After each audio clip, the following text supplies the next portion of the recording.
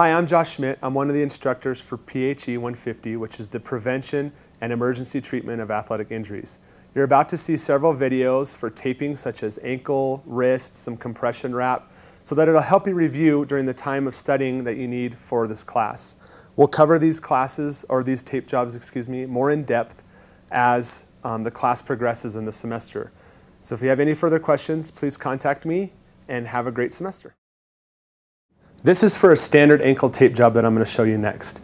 And there's a couple key things that we need to do when we start this tape job out to have success. The first thing is we always want the athlete with their foot dorsiflexed in this position. The next step, usually we're going to use some type of tape adherent. And the only thing we need to be cautious of this is there are a few people out there that are allergic. So I'm going to spray her ankle, and I'm simulating this right now. I'm going to allow that to dry.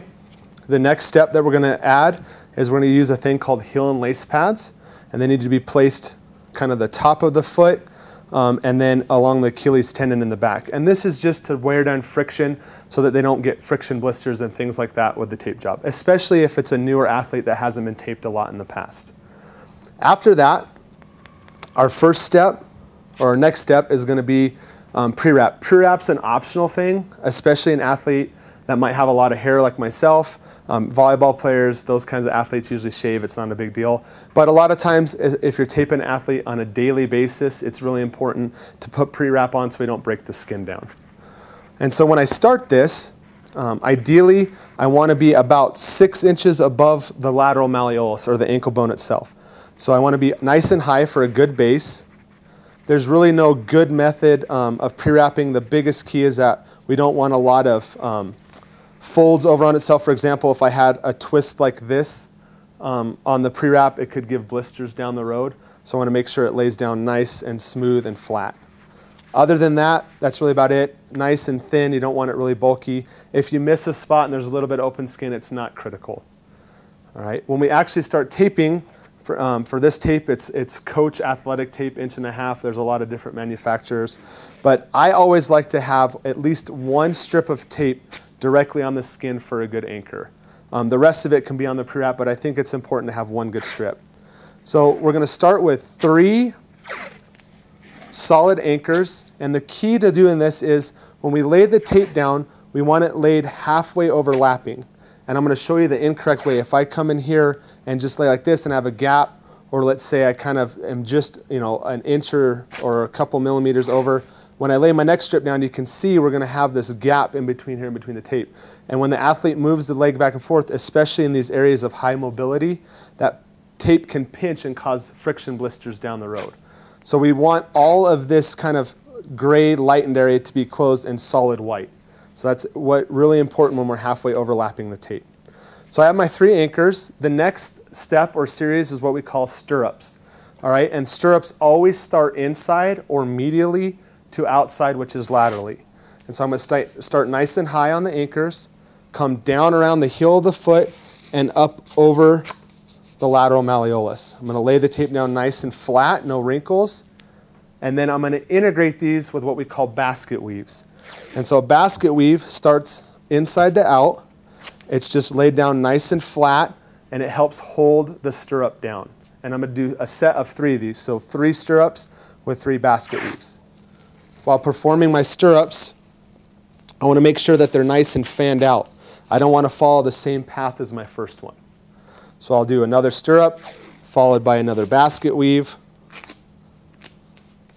followed by a third stirrup, again kind of lacing this out, fanning it out like this instead of right on top of each other, and a third basket weave. If someone has a little bit larger foot or they have a really long calf, I like to do a fourth basket weave which just helps cut down on friction and blisters in the back. So a minute ago, you were seeing the outside or lateral aspect of the ankle. I just wanted to quickly show you the medial or inside. Again, you can see that my stirrups were kind of fanned out and my basket weaves are nice and flat.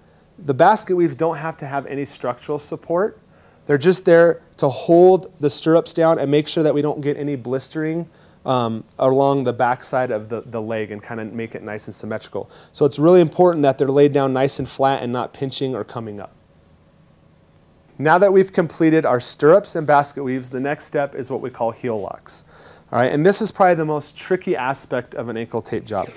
Um, when you start this, you want to start right about where you tie your shoelaces on a, on a low cut shoe, not a high top. And you're going to start here. You're going to come down around the heel, underneath across the back of the Achilles, and ideally, just like this, you want to end your tape just slightly above what we call the lateral malleolus or kind of the outside ankle bone. All right, and you're going to stop, tear the tape, and break it. And now you're going to do the exact opposite on the inside. So again, kind of starting right about where you tie your shoelaces.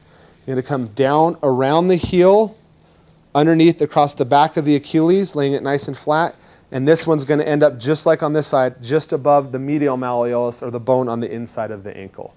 All right, we're going to do that's one set, and we're going to do a second set of that, um, following and tracing ourselves around just like we did on the first set. So again, around and around. One of the key tips that a lot of students try to make, they try to fight the tape on this and make it go where, where they want it to go rather than just letting the tape roll off on its kind of own direction, and that'll help to not um, pinch up and bind so much.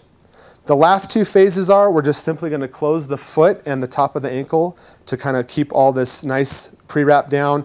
Um, you always want to try to start outside and work your way in and around, and this helps give a little bit of arch support to the inside of the arch of the foot. And so we're going to bring it around. Depending upon the sport, volleyball players and basketball players like a little bit more support usually on the foot. If it's like a soccer player, a lot of times they don't like this much tape on the foot, so you might want to be a little bit higher, and that's totally fine. This is not a structural component of the ankle. It's just to keep the tape down a little bit and add a little bit of support through the foot. And then we're going to close the top of the foot or the ankle, and we're going to start as low as we can. It's kind of an hourglass figure, so you're going to start here, working up, on your angles of tape. So the first one's going to come down nice and low and around. Then the next one's going to be more of a straight piece. And then we're going to work up at a nice angle until we get the entire top half of the tape job closed up. And that's it. You make sure it's all nice and down. I always like to ask the athlete, you know, does it feel comfortable? Is it not too tight? I can always make it tighter at this point, or I can snip a little bit on the outside if I need to loosen it up. And then I usually have the athlete relax a little bit, and I'll just check for integrity, and then we're done.